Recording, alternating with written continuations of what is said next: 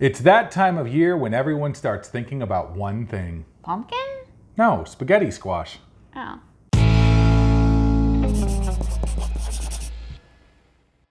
Welcome to Krocks in the Kitchen. I'm Jessica. And I am Brian. We are back to cooking today. We have brought you a lovely recipe, not using pumpkin, but using spaghetti squash. Because Jessica brought home a spaghetti squash last week and was like, hey, Brian, make something with yeah, this. Yeah, it was on sale at one of our local grocery stores, and I was like, you know what? We haven't had spaghetti squash in a long time, and it's nice because you can always have like a giant bulk of it and not worry really because there's like barely any calories in it. And I was just thinking Brian could come up with a sauce, so I basically gave him here's the spaghetti squash. We always cook it the same way. Um, and so we'll show you how we do that. But I was basically like, here's a can of diced tomatoes, and then he just did his thing. Yeah. Basically, I threw together a recipe. I wrote it all down as I went along. Yes. And uh, then we cooked everything together and we made a nice, delicious meal that we will now show you how to cook. First, preheat your oven to 400 degrees.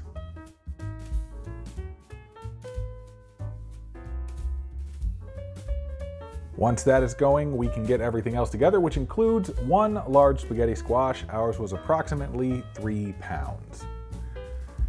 Plus one can of fire roasted diced tomatoes, a can of garbanzo beans, some tomato paste, minced garlic, some chopped red onion, balsamic vinegar, some liquid aminos, the large bottle is optional, some coconut aminos, and for the seasoning, you will need Italian seasoning, basil leaves, oregano leaves, smoked paprika, and some cayenne pepper. First thing you do is put your spaghetti squash into the microwave and microwave it for five minutes or until it is slightly softened.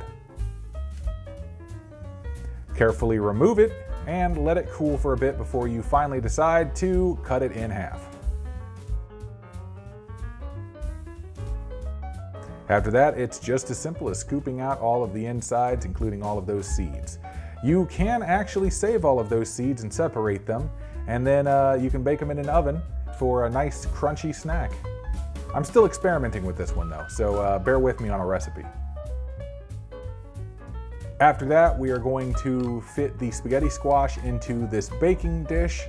Uh, you can use pretty much anything you want just so long as it has uh, fairly deep sides. And then pour in about a half inch of water into the pan just so you can cover up the bottom of the spaghetti squash. After that, place into the center of your preheated oven and set the timer for 40 minutes. With that baking in the oven, we will get started with our sauce by water sauteing a quarter cup of onion in a medium-high pan, along with a tablespoon of garlic.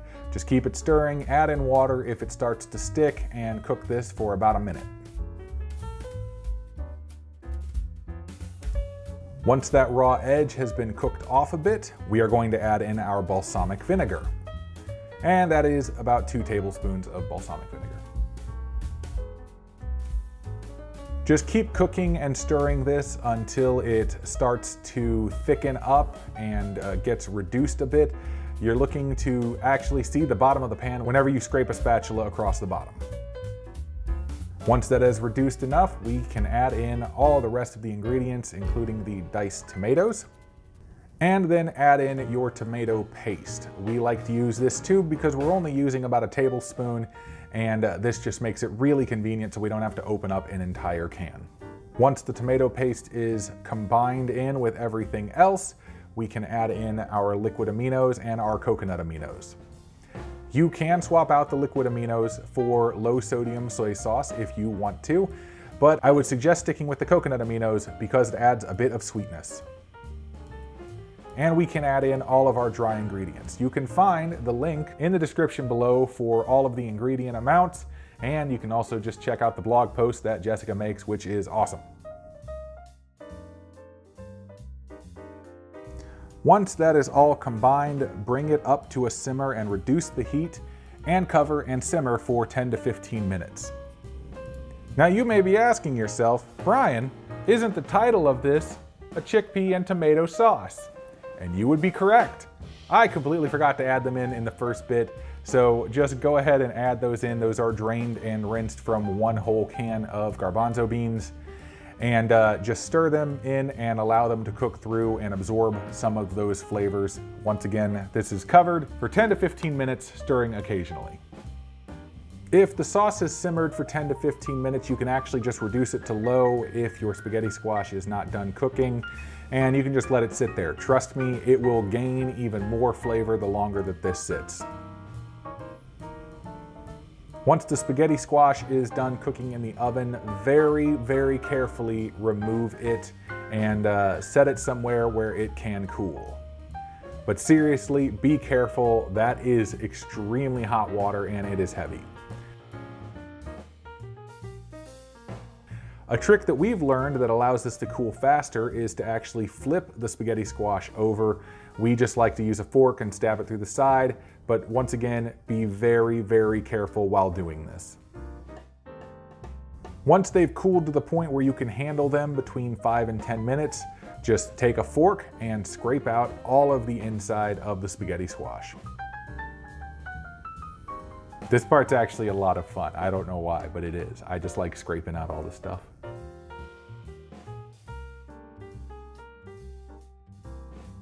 Once you've got both halves scraped out, just go ahead and add the sauce right on top. You just divvy up what you got in the pan and bing, bang, boom, you've got spaghetti squash with chickpea and tomato sauce.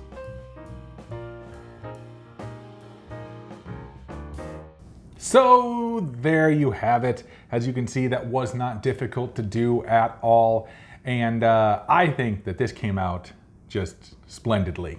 Yes, it looks very pretty. I know, right? I'm and pretty it's a it's like a, a large meal too. Yeah. And you know, since spaghetti squash aren't that expensive, like even in, in like an off season, you can still find them and stuff. They're still they not can get a little bit. they can get a bit pricey. pricey, but they're not like stupid expensive. Yeah. Uh, but really, really easy to make something, especially for us, because we just split the one squash, bang, bang, Yeah. all good. Yeah, we haven't really done any like batch cook testing for this one. I know you guys are used to our recipes making like a massive quantity. Um, this was just a one off. Sometimes on the weekends, we just like to have a nice meal that's just a one off meal. But I actually think in the future, we'll definitely try batch cooking this one. Just make up a bunch of spaghetti squash, put it in some containers, put a few scoops of the sauce in there, and there's lunch for the week. Like, Yeah. super easy. Absolutely. Also, spaghetti squash is very versatile to cook with. We have actually used this in a casserole before we switched to our whole food plant based diet, and uh, that was super tasty. Yeah. And I think we could probably come up with a whole food plant based version Oh, of yeah, that dish. Easily. Uh, so look out for that one in the future. Yeah. But I love this. I think it's great. But go, let's go ahead and try it out for these fine folks. Yes.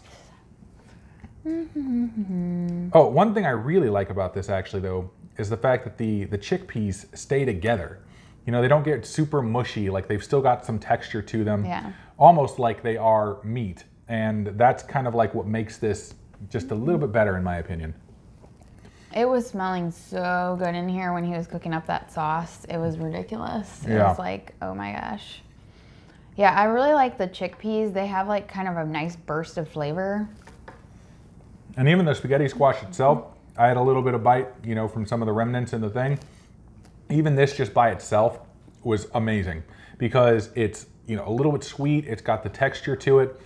You know, if you're going for a little bit more savory, obviously you could add something that is savory on top, hence like this sauce, but it didn't need anything. I could have seriously eaten half of this just by itself. But with the sauce on top, makes it way better. It's actually really good. Mm-hmm. And full disclosure, sometimes by the time we eat, the stuff is not hot anymore. That's true. I did a full on photo shoot. I actually took it outside, took some photos, came back inside. Then we, you know, film other stuff, whatever. And honestly, this tastes still good. really good. Like Still it's, super it's, good. It's at like room temperature now, and it tastes really good. Like I'm actually, I actually really like it at room temperature. I know. All in all, I think it's great. Uh, so I really hope you guys happen to try this one out uh, just because, I don't know, Italian food is, is one of the best things on earth as far as I am concerned. And so to have it with all these really nice uh, vegetables and the, you know, the chickpeas there, it is superb. I'm, I have to say, this is probably one of my favorite things that you've made, like, I know. since we switched. Knocked it out of the park on the first try. What can I say? Good job, Brian. Yay! Yay. But, uh, Jessica, yes.